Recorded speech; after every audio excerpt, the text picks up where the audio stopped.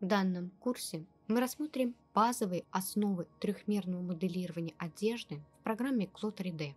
Программное обеспечение Clo 3D обладает широкими функциональными возможностями для разработки аватаров, цифровых манекенов или цифровых двойников человека.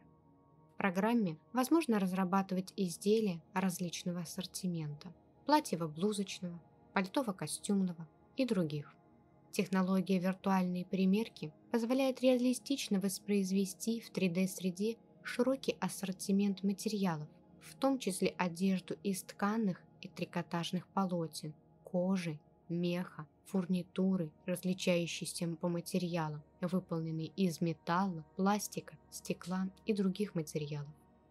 Готовые образцы одежды возможно демонстрировать в виде двухмерных изображений по типу эскизов, сгенерированных в полуавтоматическом режиме с использованием функциональных возможностей программы, в виде трехмерных моделей, одетых на аватар, или трехмерных изделий без аватара, а также одежды, повешенной на вешалку, или одежды, одетой на манекен.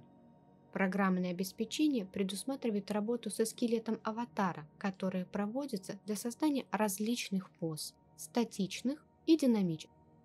Демонстрация одежды на аватарах в различных позах позволяет выполнить оценку соответствия изделия размеру и формы поверхности манекена.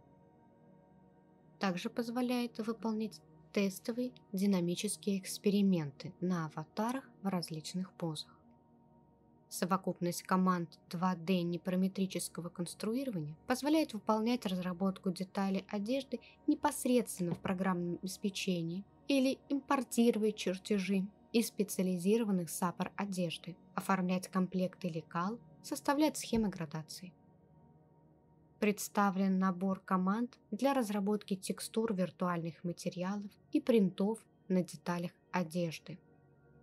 Разработка фотореалистичных материалов достигается поэтапной детальной проработкой мелких деталей и отделки.